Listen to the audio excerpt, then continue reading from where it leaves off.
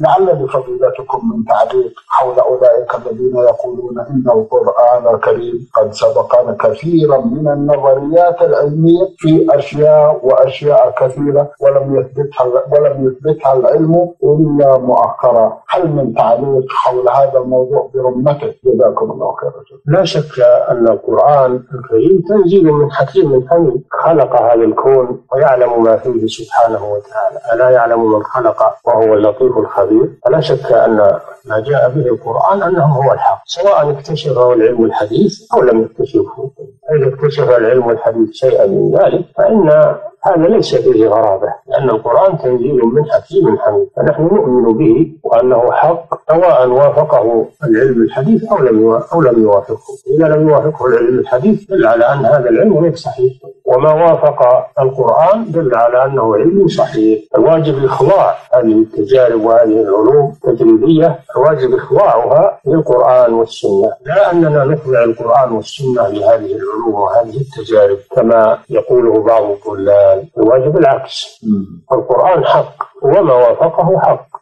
واما ما خالف القرآن فهو باطل ونقطع بأنه ما خالف القرآن نقطع بأنه باطل. ولو كان من كلام حذاق الاطباء وحذاق الصناع وحذاق المجربين نعتقد أن تجربتهم وأن علمهم كله خطأ. دليل أن القرآن خالفه. دليل أن السنة خالفتها.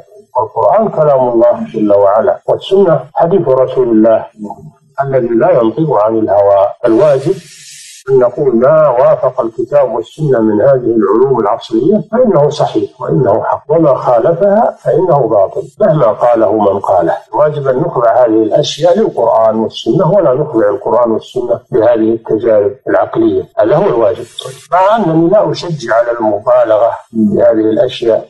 وأن نقول هذه الإعجاز العلمي وهذا فنأتي بهذه النظريات الحديثة. إذا تراءى لها تراءى لنا أنها توافق القرآن فرحنا بذلك وسلمنا على طول. لا لكن نقول لعلها لعلها ولا نجزم لأنها يمكن تختلف هذه النظريات. يمكن يأتي يوم تكون هذه النظريات غير صحيحة ونكون متوهمين.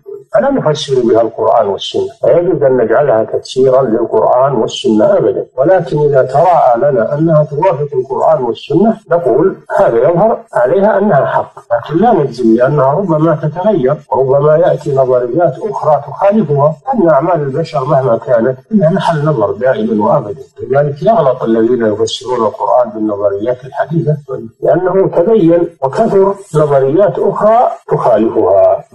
نحن فسرنا بها القرآن وقلنا إن هذا معنى القرآن الكريم. هذه تعتبر خطيئة في حق القرآن. ولكن لا بأس من باب الاستئناس أن نقول لعلها وافقت القرآن أو وافقت السنة ولعل هذا هو المقصود من معنى الآية أو من معنى الحديث. ولكن لا نجزم بهذا.